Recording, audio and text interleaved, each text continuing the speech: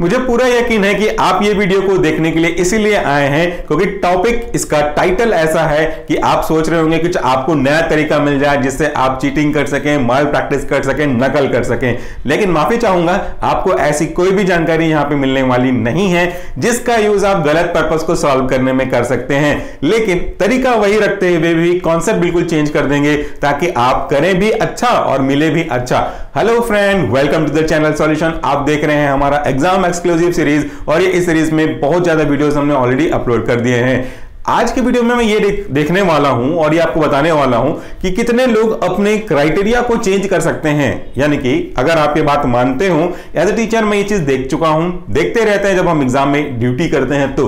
कई बच्चे एक से एक इनोवेटिव आइडियाज़ निकालते हैं चीटिंग करने के, नकल करने के। जो बेसिक है, वो मैं आपको बताता हूँ, और कुछ एडवांस है, वो तो आप मुझसे ज़्यादा अच्छे समझते होंगे।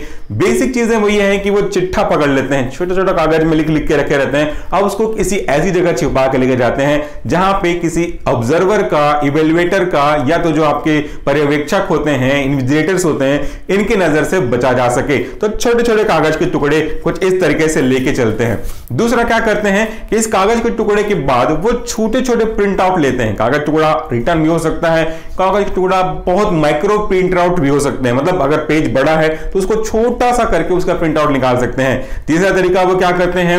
अगल बगल पड़ोसी से, इससे, उससे देखते रहते हैं। चौथा चीज़ क्या करते हैं कि वो उन क्वेश्चंस को निकाल लेते हैं, जिनको लगता है कि ये क्वेश्चन इंपॉर्टेंट है और एग्ज़ाम में आ सकता है तो उसी का वो आंसर लिख के रखते हैं। मतलब ये उनका अंदाज़ा है। वो लिख के तो रखेंगे बहुत कुछ और डिपेंड्स अपॉन द किस्मत कि कौन सा क्वेश्चन फंसा, वो उसी क्वेश्चन पेपर को निकाल के, उसी आंसर शीट को निकाल के रखेंगे, जिसका क्वेश्चन फंसा हुआ है। तो ये चीज़ें करने में फ्री का समय तो लगता ही है ना? मतलब आपको समय तो लगाना ही पड़ा, मेहनत तो करनी ही पड़ी। तो अगर आप इसी चीज़ को थोड़ा प्लान वे में कर लो तो नकल का ये जो एक प्रकार से करना चाहिए, बुरा इफ़ेक्ट है, वो भी नहीं होगा।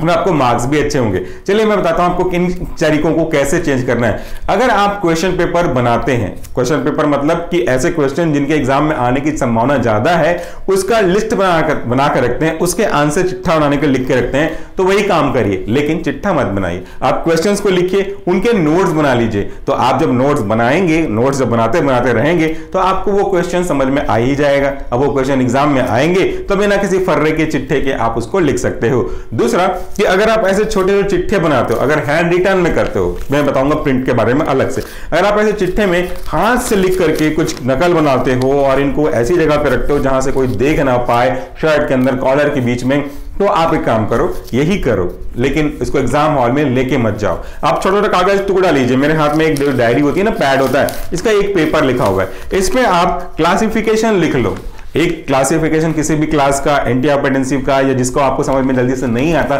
उसका लिख लो, इस चिट्ठे को पकड़ के अपने साथ कॉलेज में लेके जाओ। एग्ज़ाम के समय नहीं डेली कॉलेज जब जाते हैं रूटीन में एग्ज़ाम शुरू होने से काफ़ी पहले सेमेस्टर के स्टार्टिंग से आप अपने पास लेके जाओ। जब आप बस में बैठते हो, इसी चिट्ठे को निकालो, क्योंकि बुक लेके जाना थोड़ा दिक्कत हो सकता है आपके लिए। तो छोटे से कागज़ को रखो और यहाँ पे पढ़ो कि क्लासिफिकेशन क्या है। दो तीन बार अगर आप इसको खोल के देखोगे तो आपको वो रिकॉल हो जाएगा। तो ये चिट्ठा वहाँ भी काम आया, यहाँ भी काम आया। अंतर इतना वहाँ वहाँ पे गिल्ट के, डर के मारे और गलत काम कर रहे हो। यहाँ पे आप ईमानदारी से मेहनत कर रहे हो, दूसरों से अलग तरीके से कि आप छोटी चीज़ों को अपने पास में रखो। जब समय मिला आपके पास, खाली समय निकाल लिया, इसको पढ़ने लग गए। ये तरीका हो गया। इसके बाद एक चीज़ और करते हैं। हम क्या करते हैं, हम जो भी किताबें होती हैं। सपोज़ ये अगर फार्माकोलॉजी की किताब है तो इसका कोई इंपॉर्टेंट टॉपिक होगा। तो उसको आप लोग माइक्रो जीरोक्स करवा लेते हो। माइक्रो जीरोक्स मतलब इतने से कागज़ पे पूरा फोटोकॉपी हो जाएगा, बहुत छोटा छोटा फोटोकॉपी हो जाएगा। और उसको इसलिए करते हैं ताकि कम जगह पे आपको मैक्सिमम कंटेंट मिल सके और आपको नकल करने में आसानी हो। ये चीज़ें हमको पता है और आप भी जानते हैं, चीज़ें करते हैं। तो वैसा ही करिए, लेकिन तरीका बदल दीजिए। अभी भी माइक्रो जीरोक्स करवाइए बट उसको एग्ज़ाम हॉल में मत लेके जाइए। उसको डेली कॉलेज रूटीन में लेके जाइए ताकि आपके पास छोटा पॉकेट बुक बन सके।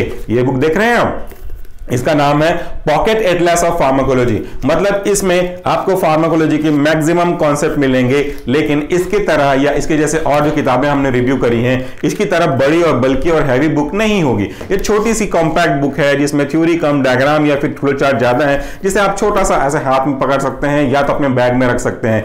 तो अगर आप बड़े बड़े बुक का, इसी बुक का अगर आप माइक्रोजिरोस कराते हो तो छोटा छोटा साइज़ हो जाएगा। तो इससे इतना बड़ा बुक बहुत छोटे बुक में आ जाएगी। मैं तो ये एग्ज़ाम्पल दिखा रहा हूँ, इससे भी छोटा बुक बन करके आ जाएगा, जिसे आप अपने पॉकेट में आराम से एक डायरी की तरह रख सकते हो। छोटा सा उसका प्रिंट आउट हो जाएगा, उसकी छोटी सी बाइंडिंग हो जाएगी और स्टपल भी मार के आप रख सकते हो। तो जब कभी भी आपको पढ़ने का समय मिला, छोटी किताबों की तरह पढ़ने लगे तो आप जो चीज़ कर रहे हो, वो चीज़ सही तरीके से, सही दिशा में ले जाएँगे तो आपका नॉलेज और बढ़ जाएगा गिल्ट भी नहीं होगी। अगला जो माल प्रैक्टिस हम करते हैं एग्ज़ाम हॉल में, बैठा हुआ है, कोई क्वेश्चन पेपर मेरे पास आया है और इस क्वेश्चन पेपर को मुझे सॉल्व करना नहीं बन रहा है तो मैं अपने अड़ोसी या पड़ोसी या सामने वाले से, बताना भाई क्या आंसर इसका आंसर क्या होगा, ये हम करते हैं। इससे नुकसान यह है कि आपकी इमेज खराब बन जाएगी और आप नकलची कहलाओगे। यही चीज़ करना है। कर रहे हो सही, लेकिन जगह है गलत। एग्ज़ाम हॉल में ये चीज़ें नहीं करनी है। जब आपकी क्लासेस चल रही हो डेली रूटीन में चल रहे हो, जब आपके टीचर आपको पढ़ा रहे हो और आपको वो चीज़ें समझ में ना आई हो तो टीचर से सवाल करिए कि, सर, मुझे समझ में नहीं आया, इसका आंसर क्या है? अगर टीचर से सेटिस्फैक्ट्री आंसर मिलता है तो बहुत अच्छी बात। अगर आप हेजिटेट करते हो, जो कि बिल्कुल नहीं करना चाहिए तो कोई बात नहीं टीचर से ना सही अपने क्लास के उन बच्चों से पूछिए जो इस चीज़ को समझ चुके हैं। तो यहाँ आप पूछे भैया, मेरे को समझ में नहीं आया कॉन्सेप्ट जरा फिर से समझाना। वही चीज़ तो हुआ जो आप एग्ज़ाम हॉल में कर रहे थे। जगह बस अलग गई कि क्लासरूम में आ गया, ना कि एग्ज़ाम हॉल में। तो इससे आपका इमेज बढ़ेगा, घटेगा तो बिल्कुल भी नहीं। ना कल की संभावना वहीं पर कम हो जाएगी। एक और चीज़ें हम करते हैं। अगर आपके एग्ज़ाम में अब मल्टीपल चॉइस क्वेश्चन के क्वेश्चन पूछे जाते हैं तो उसमें बच्चे क्या करते हैं? आपका क्वेश्चन पेपर आपको मिला, सामने वाला क्वेश्चन पेपर सामने वाले को मिलेगा। इसमें तो कोई सेट वगैरह होते नहीं है यूनिवर्सिटी एग्ज़ाम में एक ही सेट होता है। तो उसमें क्या करते हैं? बच्चे जो ऑब्जेक्टिव है, उनमें सही टिक लगा देते हैं छोटा छोटा डॉट डॉट लगा देते हैं, ताकि बहुत आसानी से ऑब्जर्वर को ना दिखे। लेकिन अगर ध्यान से देखेंगे तो दिख जाएगा। तो उन्होंने अपने क्वेश्चन पेपर पे एमसीक्यूज के आंसर टिक कर दिए, कहीं ना कहीं रिमार्क लगा दिया। अब जब कभी भी खाली समय बचा इधर उधर घूमते हैं तो अपना क्वेश्चन पेपर किसी दूसरे वाले एक व्यक्ति से एक्सचेंज कर लेते हैं और दूसरा वाला उस क्वेश्चन को देख करके, बीस क्वेश्चन होते हैं, बीस नंबर का, उसको वो देख के लिख लेता है। तो ये चीज़ करने की ज़रूरत पड़ेगी। लेकिन मैं कह रहा हूँ कि एग्ज़ाम हॉल में बात करें, इसे एग्ज़ाम से पहले ही कर लें। पुराने क्वेश्चन पेपर को निकाल लीजिए, पुराने क्वेश्चन पेपर को सॉल्व करिए। अगर आपसे नहीं होता तो आपके फ्रेंड से मदद लीजिए कि इसका सॉल्यूशन कैसा बनेगा तो आपकी तैयारी हो जाएगी। अगर यही प्रैक्टिस अगर आप अलग अलग साल के क्वेश्चन पेपर के साथ करते हैं तो आपको नकल मारने की ज़रूरत नहीं पड़ेगी। और आप नकलची से हो सकते हो कि आप बताने वाले बन जाओ। मतलब गधे हो करके किसी से पूछताछ करने के बजाय आप इंटेलिजेंट बन करके बाकी लोगों को समझाने लगोगे कि इसका आंसर ये होगा, ऐसे होगा। और वो भी एग्ज़ाम हॉल में नहीं, बल्कि आपके क्लासरूम में। तो इस तरीके से कुछ बेसिक चीज़ों को हम फॉलो कर सकते हैं, जैसा आप करते हैं और उससे हम सीख सकते हैं। एक और तरीका हाईटेक खाने की थोड़ी संभावना उसकी कम बनती है but still it is possible क्योंकि बड़े बड़े एग्ज़ाम में भी ये लोग करते रहते हैं।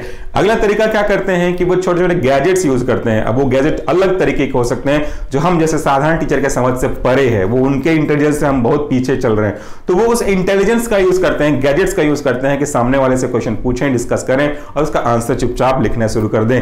गैजेट्स का यूज़ करिए मोबाइल व्हाट्सएप चैट ट्विटर जो भी यूज़ करना करिए, लेकिन एग्ज़ाम से पहले, ताकि आप ऐसे व्यक्ति से नए व्यक्तियों से कॉन्टेक्ट बना सकें, जो आपके कॉलेज के तो नहीं है, दूसरे कॉलेज के हो सकते हैं, हो सकता है कि सब्जेक्ट एक्सपर्ट हो सकते हैं। जैसा एग्जांपल है, हम सोल्यूशन फार्मेसी और आप आप हमसे फेसबुक से भी चैट कर सकते हो वो हमारा जो व्हाट्सएप का ग्रुप है, उससे भी आ सकते हैं बट उसके लिए आपको ऑफलाइन स्टूडेंट बनना पड़ेगा। तो आप हमसे जो ऐप है हमारा, उससे डायरेक्टली चैट कर सकते हैं। मैं ही आपको रिस्पॉन्स करता हूँ यूट्यूब के कमेंट बॉक्स में भी आप कर सकते हैं। तो आप और मेरे बीच एक डायरेक्ट कन्वर्सेशन हो गया, जो कि बहुत ही अच्छा और हेल्दी मैनर में वो आप कर सकते हो। और भी कई चीज़ें हैं जिसका यूज़ हम अपने नॉलेज को बूस्ट कर सकते हैं। विदाउट अप्लाइंग एनी नकलची का थप्पा आपके ऊपर लगेगा भी नहीं और कॉन्सेप्ट भी क्लियर हो जाएगा। मुझे पता है कि आप में से अधिकतर लोगों ने वीडियो को बीच में स्किप कर दिया होगा, क्योंकि जो सोच करके ये वीडियो देखने आए थे कि नकल कैसे मारें, नकल नकल की कैसे तैयारी करें, वो तो आपको नहीं मिला यहाँ पे, बल्कि आपको सजेशन फ्री में मिल गई कि कैसे तैयारी करें, जिनको आपको बिल्कुल पसंद नहीं है। आप ये बिल्कुल चाहते ही नहीं हो कि कोई आपको सलाह दे, क्योंकि आप तो चाहते हो कि मैं नकलची हूँ, नकलचे बना रहा तो नकल मारने के तरीके बताया जाए। वैसा आपको यहाँ पे नहीं मिला। तो आई एम सॉरी कि अगर आप ये सोच करके आए थे। लेकिन अगर किसी का थोड़ा भी हृदय परिवर्तन हुआ है, या कुछ नॉलेज मिला हुआ है तो well and good thank you so much for this video नमस्कार टेक केयर कोई कमेंट है, कोई सजेशन है कि आप किसी और टॉपिक पे चाहते हैं कि हम आपसे बात करें तो आप हमें कमेंट में कमेंट कर सकते हो। अगर आप पूरे एमसीक्यूज चाहना चाहते हैं, कुछ स्पेसिफिक सब्जेक्ट के जिसे हमने अपलोड किया है तो उसके लिए आप डाउनलोड कर सकते हैं सोल्यूशन फार्मेसी का मोबाइल ऐप जिसका लिंक आपको डिस्क्रिप्शन बॉक्स में मिल जाएगा। उसके बाद स्टोर टैब में जाइएगा मोबाइल के नीचे होगा आपके नीचे। उसके बाद आप कोर्स में पहुँच जाएँगे। सॉल्यूशंस बेस्ट एवर का कोर्स है। इसे आप ज़रूर देखें। उसके फोल्डर सब फोल्डर को देखें। आपके लिए काफ़ी यूजफुल और फ्रूटफुल होगा। Thank you again take care